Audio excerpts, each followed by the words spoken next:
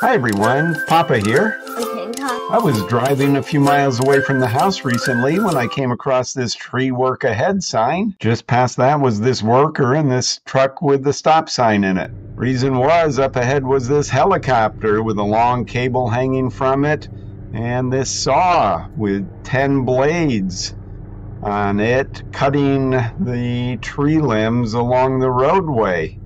I had heard that there was tree trimming going on in our area and that helicopters were involved. Still, it was quite a fascinating sight to come across it, only be about 500 feet away from it, and see this in action. What do you think of this, Cayden Kai? If I saw that coming towards me, I would just go back and run. Just run as fast as I can. Yes, I bet you'd run faster than you've ever run before. So yeah, if that thing went through my house, I would call someone and say, "Hey, something just went through my wall." you wouldn't like to see that coming through your house, coming at you, would you? Man, um, if that thing was going through my house, I would be scared.